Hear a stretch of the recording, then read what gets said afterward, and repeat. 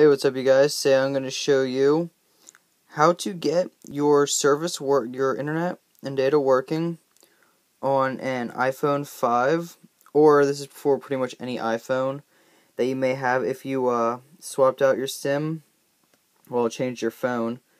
Like I went from an iPhone 4 to an iPhone 5, cut down the SIM from a micro to a nano and discovered data was not working, looked it up, and turns out that the APN settings no longer really work.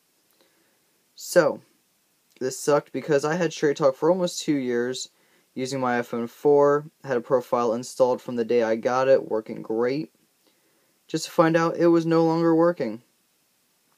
So, what I'm going to do is show you how to get it working.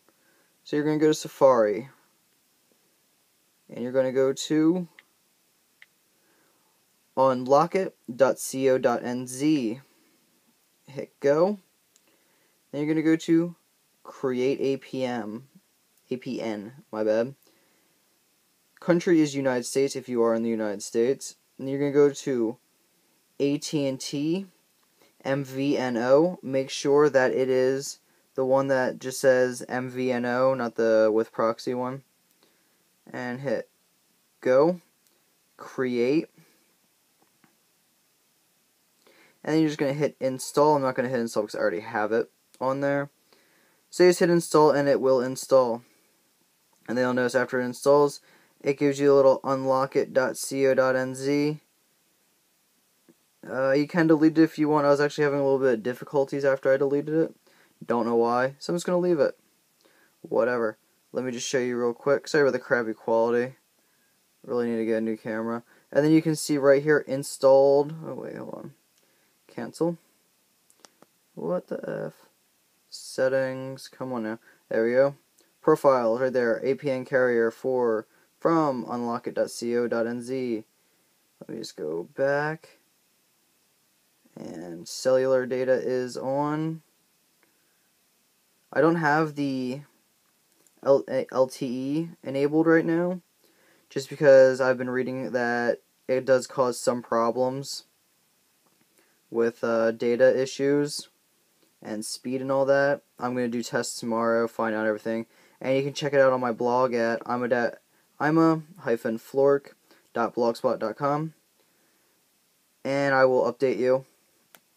But let's go back. Turn off the Wi-Fi. Turn off the Wi-Fi, thank you. And then you'll notice it says 4G, so we'll go back to Safari. And let's just go to Google.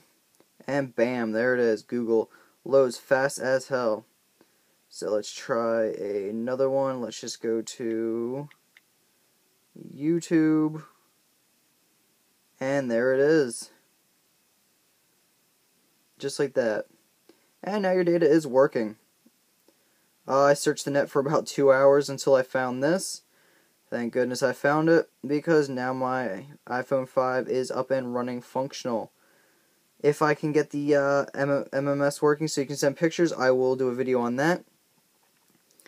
But I'm pretty sure you need to be jailbroken to do that. And there is no jailbreak for iOS 7 yet. Alright, guys. I hope this was helpful. Uh, if you liked it, don't forget to thumbs up. Don't forget to subscribe. Alright, you guys. You have a good one.